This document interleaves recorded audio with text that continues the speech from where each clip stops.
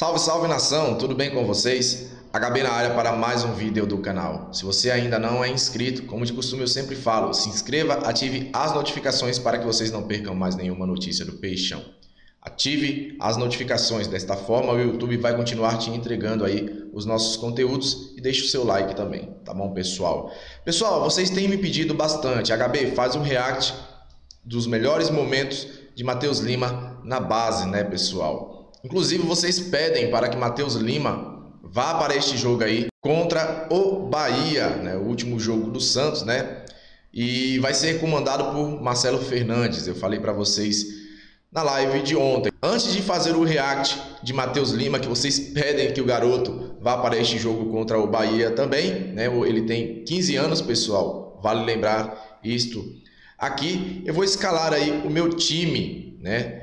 E depois vou fazer o react do Matheus Lima, tá bom? O time que eu acho que deve entrar em campo contra o Bahia. João Paulo no gol. João Paulo após a Libertadores ganhou aí a posição do John. Excelente jogador também, o John, não tenho nada a falar do John, né? Ah, talvez o lance é discutível, aquele lance do gol lá contra o Palmeiras, mas é um lance que nós queremos esquecer, né, pessoal? Na zaga eu testaria o Alex ao lado do Palha, uma vez que o Santos pretende utilizar a base, né, o sub-23 para iniciar o Campeonato Paulista, né? O Tim deve entrar na lateral esquerda, na lateral dire direita o Fernando Pilege, né, pessoal? Na volância, nós vamos ter aí provavelmente, esta é a minha escalação, não sei se vai ser assim que ele vai escalar, o Marcelo Fernandes.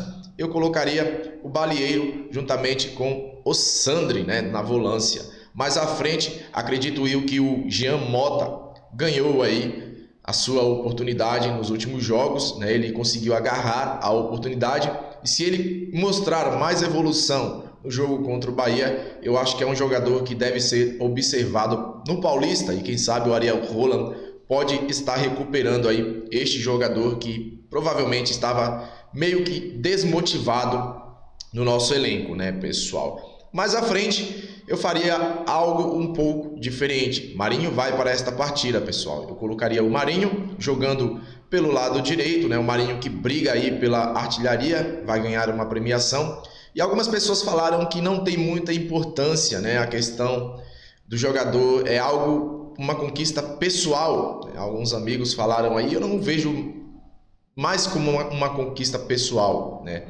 É algo que valorizaria ainda mais o seu passe, né? Uma vez que nós sabemos que o Marinho ele tem a vontade de permanecer, mas se aparecer uma, uma proposta boa, com certeza o Santos deve estar negociando o Marinho depois do Paulista ou no meio do Campeonato Brasileiro, né? O Santos precisa de grana, pessoal. Já falei para vocês e repito.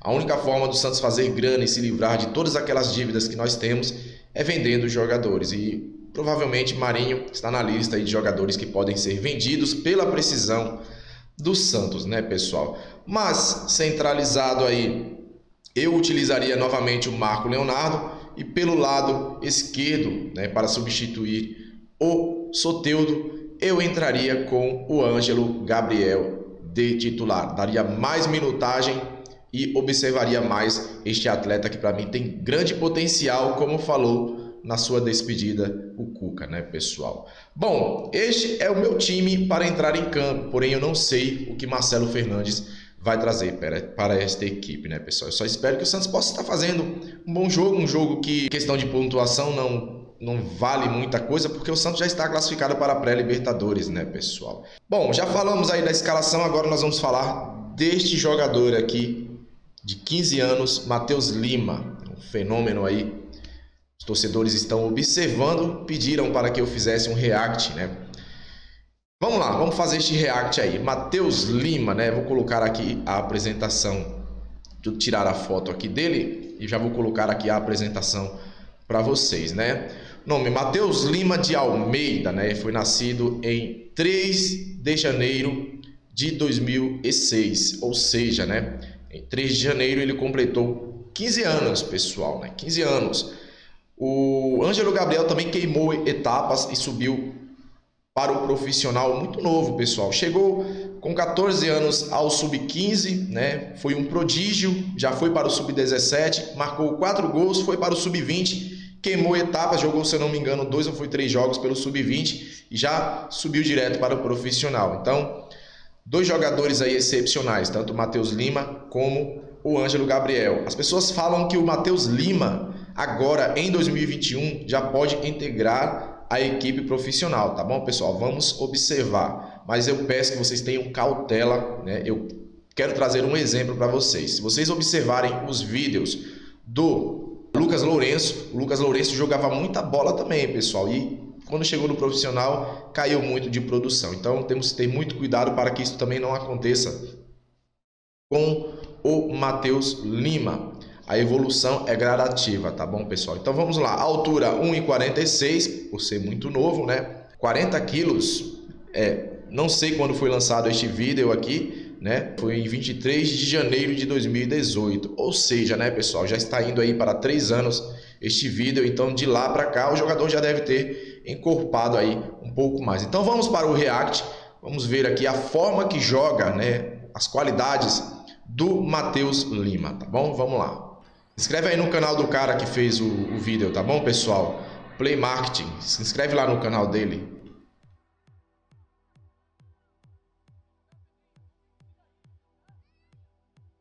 Dribla bem. Muito bem, por sinal.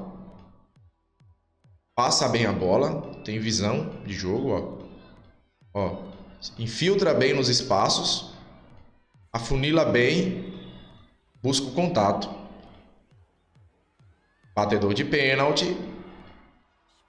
Muito bem batido, bem no canto, pessoal, o replay aí, ó.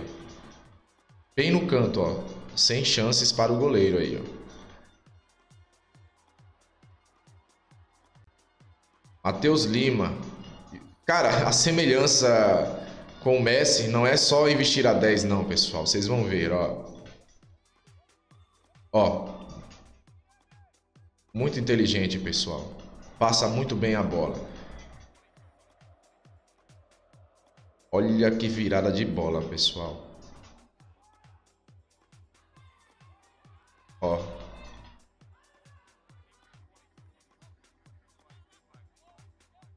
Vamos ver, pessoal. Vamos assistir aí. Deixa o like aí, pessoal. Muito importante para o andamento e desenvolvimento do canal. Batedor de falta. Estamos precisando, hein? Há muito tempo não temos aí um batedor de falta. Espero que ele venha agregar muito se ele subir para o profissional.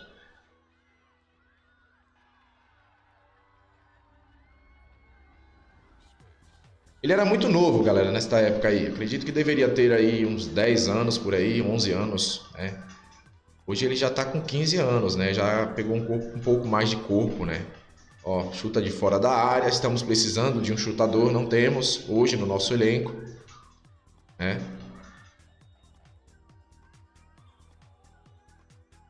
Batedor de falta, pessoal.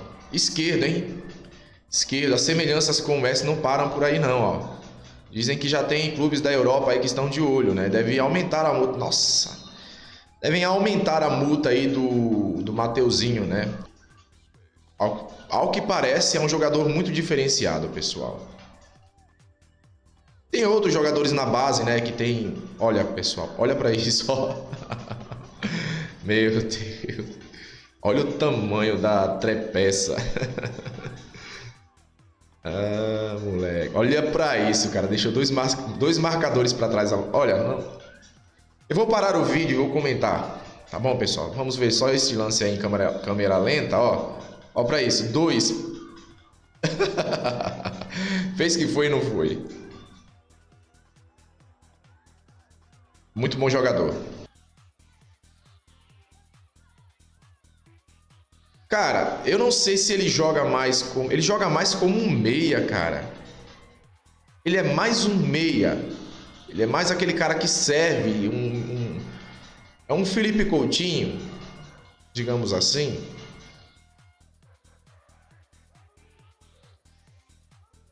Ele dribla muito bem, pessoal. Ele tem muita inteligência. Ó, passadas curtas. Passadas curtas. Bom, vou parar o vídeo por aqui. Tá bom, pessoal? Vou parar o vídeo por aqui e voltar aqui pro React com vocês. Cara, o que eu posso falar do Mateuzinho para vocês? Diferenciado. Não é qualquer jogador que conduz a bola da forma que ele conduz. E me arrisco, pessoal, me arrisco. Parece que ele é um pouco mais mais dinâmico até que o Rodrigo, hein? Vamos aguardar, pessoal. Vamos aguardar.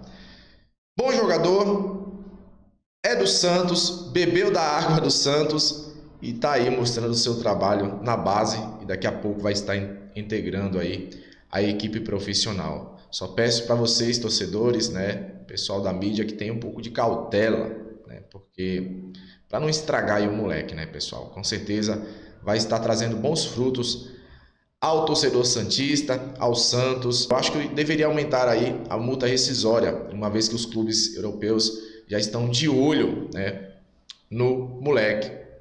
Não sei como funciona a multa rescisória, né, para não pode ter um contrato, parece, né, pessoal? Só depois dos 16 anos. Então tem que assinar um contrato e aumentar aí a sua multa rescisória. Se não, já assinou. Acho que já assinou um contrato, né? Contrato válido apenas por dois anos, se eu não me engano. Contrato de cinco anos é só após contrato profissional, né?